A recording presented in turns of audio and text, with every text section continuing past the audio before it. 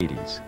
Then, in 1994, Gerald met Richard Rainwater, who was then Chief Investment Advisor for the Bass family.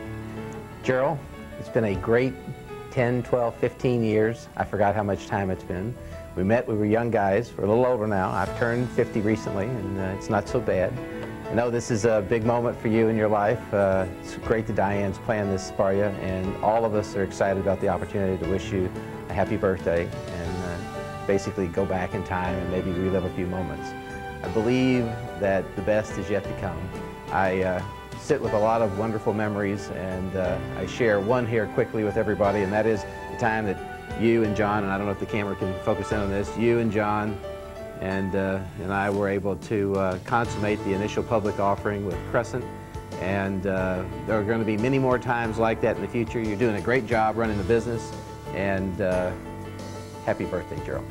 Gerald became the chief negotiator on all Richard Rainwater's deals, including Columbia HCA Healthcare and ENSCO, one of the world's largest offshore drilling service companies.